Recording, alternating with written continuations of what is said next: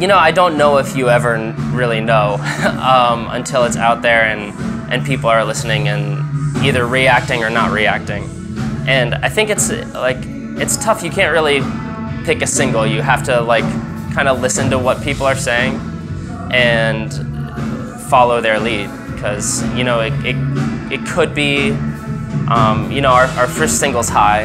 Um, and it's it's done pretty pretty well, but you never know they could kind of take a liking to another song and um, it could kind of surpass the momentum of high and you never you never really know. You just kind of have to go where the the masses go. But i think we're more concerned with building like a body of work um, and we're we kind of really focused on that for for our album um, as, as a full body of work rather than like oh let's write like a single and then write some other songs to kind of support it. I think it's um, when it when it comes out next year. I think people will, will see that it's like a full collection of um, like who we are as people and who we are as musicians.